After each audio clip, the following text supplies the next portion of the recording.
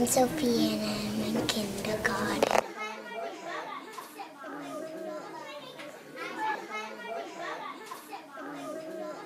How, how to spell the name.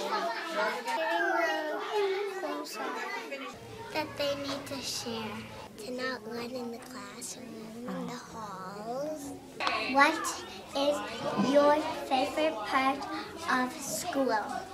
Playing with cars and um, and doing art. Teachers.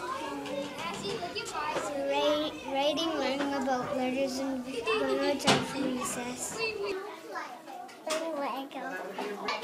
My friends and teachers. Playing with my friends. Writing Mm-hmm. is one. That's one, yeah, because you. Because I like drawing pictures and I like adding stories to the pictures. What do you like about that your school? You get to play. You get to make friends and play with them.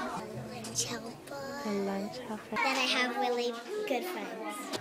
That there's lots of nice friends here. What advice would you give to your new students? Um, it's okay, don't be scared. Everyone will be friendly too, and you will make friends.